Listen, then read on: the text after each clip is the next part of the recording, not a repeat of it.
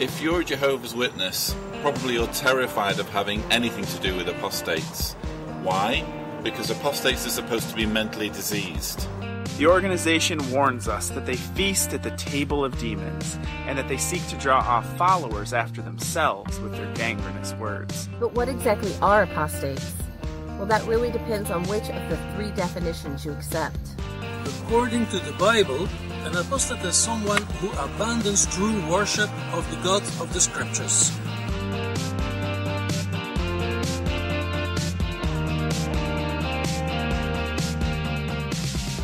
Then you have Watchtower's definition. According to a 1980 Watchtower letter, the district and circuit overseers, an apostate is anyone who so much as thinks differently from the faithful slave class.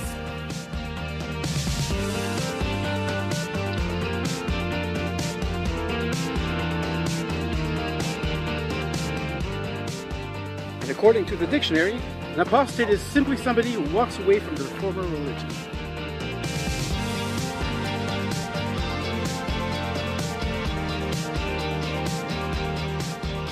To a Jehovah's Witness, walking away from Watchtower and the governing body is considered unforgivable, a crime worthy of punishment through shunning. But most people believe that the ability to leave one's religion without reprisals is a basic human right. Enshrined in Article 18 of the Universal Declaration.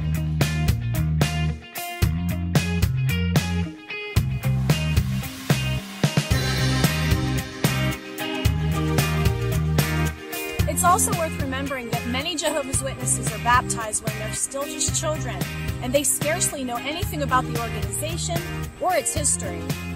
Ask yourself honestly, when you were baptized, did you know that the Watchtower publications taught for over four decades that the Pyramid of Giza was built by Jehovah with the dimensions corresponding to Bible chronology?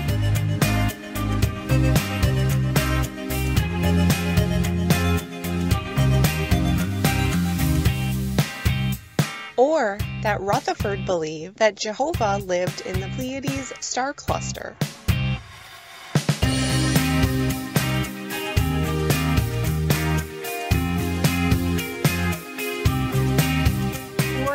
That Rutherford expected the resurrected Moses, David, and Samson to come live with him in San Diego.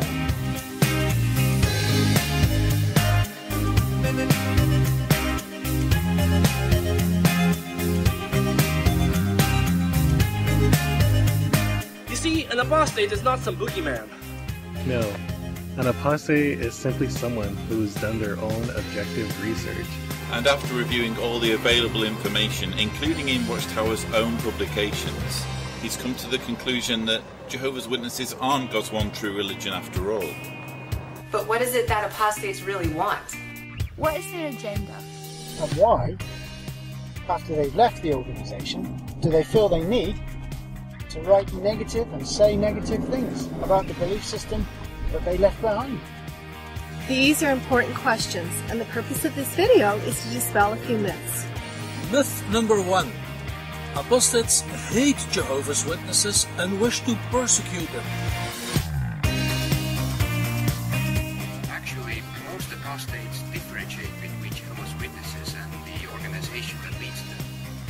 Jehovah's Witnesses are viewed by them not as enemies who must be crushed, but as victims of manipulation and indoctrination through misinformation. Far from hating Jehovah's Witnesses, apostates care deeply for them and want only the best for them. After all, many apostates have family members that are still witnesses. Myth number two Apostates seek to draw followers after themselves. Yes, it's true. Some of the more eccentric former witnesses can sometimes be a little too evangelical about their newfound religious beliefs. But for the most part, apostates aren't especially interested in converting Jehovah's Witnesses from one faith to another. What most apostates are truly concerned about is the number of people being lied to by Watchtower, including children, and the harm these teachings can cause. And that brings us to myth number three. Apostates lie and exaggerate about the organization.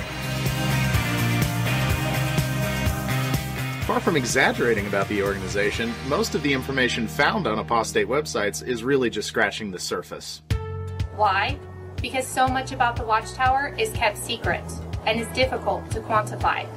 We really have no way of knowing, for example, how much money Watchtower makes, or how many alleged pedophiles are on Watchtower's records. Or how many people die for refusing a blood transfusion each year. What we do know is that in several areas, Watchtower teachings and practices are hurting and even killing people. Take, for example, shunning. If you end up being shunned by your witness family through disfellowshipping, a practice described in a 1947 Awake article as altogether foreign to Bible teaching, you can end up emotionally traumatized. We humans just aren't programmed to cope with loneliness and ostracism, especially for unjust reasons. The mental stress can be so great that some disfellowshipped ones have even committed suicide. Again, we don't know how many, but the stories are out there. Then there's the mishandling of child abuse as reported on extensively by the media. There is a crisis of silence within the Jehovah's Witness organization, a crisis of cover up of the abuse, the sexual abuse of children that has been going on for decades. A new report sheds light on a widespread practice among Jehovah's Witnesses of using one of America's most sacred rights to shield itself from child sexual abuse claims. For almost 20 years, they've ordered them to send reports like this one for every known child abuser, to hide these cases from their congregations, and not to cooperate with law enforcement or the courts unless instructed to. I don't know of any other religious organisation, which is how this is framed, yes. which has the, the processes with the flaws that we've identified in the Jehovah's Witnesses. If ever there was a group that needs the sun to shine on them, it's this one. Because when your doorbell rings on Saturday morning and your kid answers the door, you don't want that guy to be a child molester. If you are molested as a child by one of your fellow Jehovah's Witnesses, there's a good chance that nothing will happen to your abuser. And that he will go on to abuse other children. Why? Because elders are instructed that unless there is a second witness to the abuse, they must leave the matter in Jehovah's hands.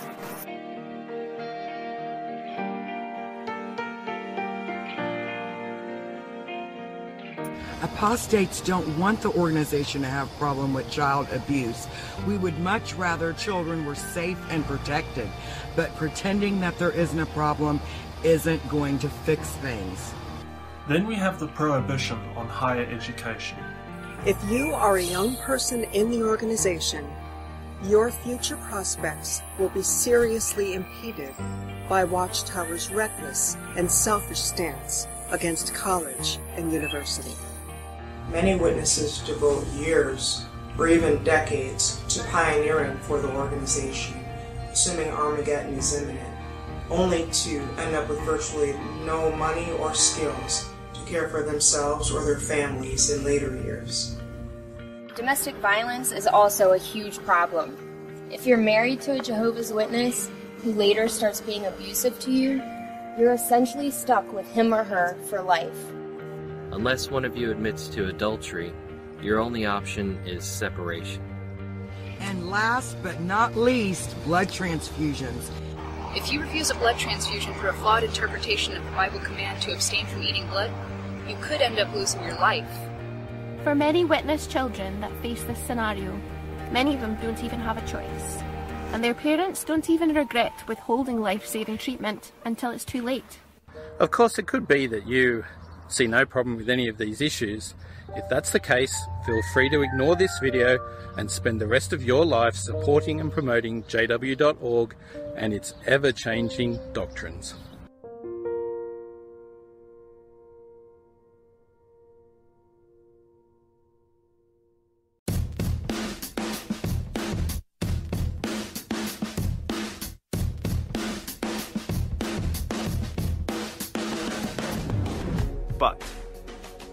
Value intellectual honesty and you don't like being lied to or seeing people get hurt, then we urge you to shake off your Watchtower induced fear of apostate books and websites and start doing some digging. Some of the most important online resources include jwfacts.com, AAWA.co, Tees.co, Jehovah'sWitnessBlog.com, JWStruggle.com, WatchtowerDocuments.com, and jwsurvey.org. JW Survey in particular has a global survey that you are invited to partake in. It gives you the chance to say what you really think about the Watchtower policies in total confidentiality. Last year, over 5,000 participated in this survey. And the results showed that hundreds of active witnesses, including elders, are concerned about some of the organization's more harmful elements. Listen, we ex-JWs do understand, and we can remember what it feels like when you first take the plunge and start doing research, especially those first few clicks. It's absolutely terrifying, but we can assure you it is worth it. After all, if Watchtower really has the truth, shouldn't that truth be able to stand up to even the heaviest possible scrutiny or criticism? Ultimately, you need to ask yourself is this true or isn't it? If it is true, there should be some evidence. If there is no evidence, then Jehovah's Witnesses are no more credible or worthy of your time than any other religion. And life is too short to waste years or even decades devoting yourself to something that isn't true. Apostates are not your enemies. We are happy, contented people who have found freedom from fear and control, and we just want to share it. We love humanity. We believe in respect and equality. And want what's best for everyone, including Jehovah's Witnesses. We have a variety of beliefs and backgrounds, and we come from all over the world. I'm from San Antonio, Texas. I'm from Romania. I'm from Milwaukee, Wisconsin. I live in Bathurst, Australia. I live in New Hampshire, USA. I'm from Johannesburg, South Africa. I'm from South Wales. Vancouver Island, Canada. My name is Esther and I'm from Germany. I'm from Byron, California. Hi, I'm from Estonia. I live in Tallinn.